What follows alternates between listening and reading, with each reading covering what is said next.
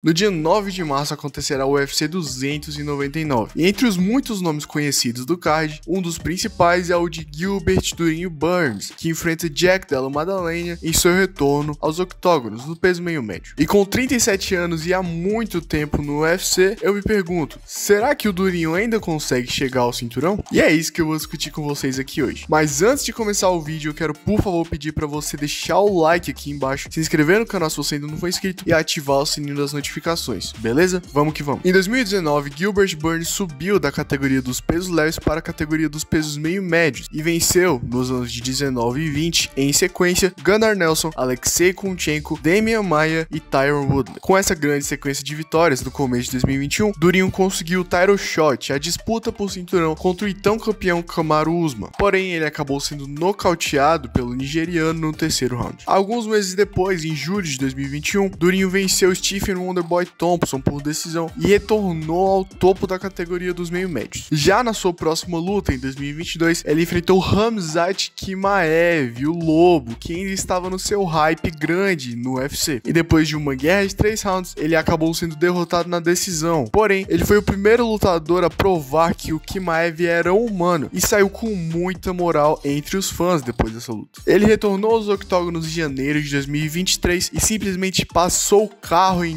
New Magni em pleno Rio de Janeiro. Em abril, alguns meses depois, ele recebeu uma das maiores oportunidades de sua vida, uma luta contra Jorge Masvidal no UFC 287 em Miami. Essa luta era uma grande oportunidade, é claro, por causa da popularidade de seu adversário, e o Durinho acabou vencendo ele depois de uma guerra de três rounds, por decisão. Depois dessa luta, Durinho ficou muito perto de uma nova disputa por cinturão, e junto com ele estava ocorrendo Bilal Muhammad. Depois da luta entre Charles do Bronx e Beneil Dariush ser adiada para junho, o UFC 288 de maio precisava de um novo Coleman Event. Sendo assim, Durinho e Muhammad aceitaram retornar, mesmo sendo apenas três semanas depois da última luta do brasileiro. O desgaste físico e overtraining, somados a uma lesão no braço que o Durinho sofreu depois de receber um chute, acabaram fazendo com que ele perdesse essa luta e fosse dominado pelo Muhammad por 5 rounds. Essa lesão que ele sofreu contra o Muhammad fez ele ficar fora de ação durante todo o resto do ano de 2020 2023. Agora, depois de quase um ano parado, Durinho volta à ação contra Jack Della Maddalena no dia 9 de maio, no UFC 299.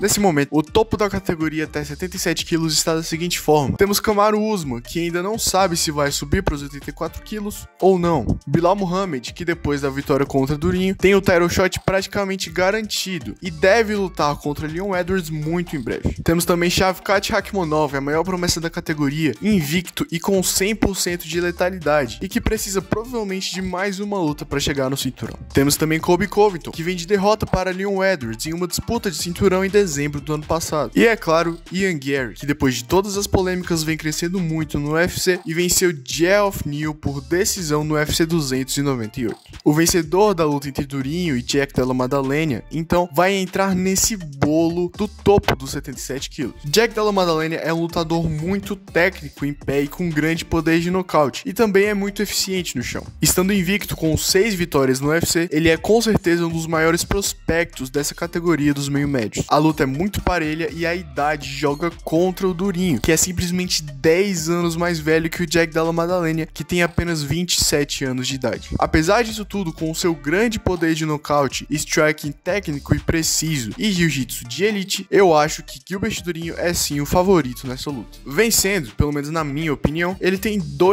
grandes nomes que ele pode pegar na próxima: Shavkat Rakhmonov e Kamaru Usman. O problema de uma luta com Shavkat é que eles são parceiros de treino, e eu não sei se eles se sentiriam confortáveis em aceitar essa luta. Já uma luta contra Usman, apesar de ser difícil, já que a gente não sabe se ele vai mesmo permanecer nos meio médios, seria assim muito boa para o Gilbert, que precisa de um nome popular para entrar no caminho de uma disputa de cinturão. Depois de vencer Jeff New, Ian Gary desafiou Kobe Covington para uma luta que com certeza moveria multidões Porém, como não se sabe se essa luta realmente vai acontecer ou não, a gente pode ver o vencedor de Gilbert Durinho contra Jack Della Maddalena contra um desses dois. Além disso, a gente tem também a chegada do Michael Page, que enfrenta o Kevin Holland nesse mesmo UFC 299, do dia 9 de março. Qualquer um que vencer essa luta também chega forte na elite da categoria até 77 quilos. Caso passe bem pelo jovem Della Maddalena, na minha opinião, Durinho precisará de apenas mais uma luta para uma nova disputa de cinturão. A gente só não sabe ainda contra contra quem essa luta poderia ser. Ian Gary, Kobe Covington, Shavkat Rakhmonov, Kamaru Usman, não sabemos. Aos 37 anos e tendo passado por guerras contra Kamaru Usman, Hamzat Kimaev e Bilal Muhammad, essa próxima luta do Durinho vai mostrar se ele ainda tem gás para bater de cabeça contra os jovens nomes da categoria e chegar novamente a uma disputa de cinturão. A expectativa tá grande, então vamos ver o que, que o brasileiro vai entregar pra gente na noite do dia 9 de março. E é isso, muito obrigado por ter assistido esse vídeo até o final. Se você gostou, não esquece de se inscrever no canal, deixar o like aqui embaixo e ativar o sininho das notificações, beleza? Falou, valeu e até a próxima.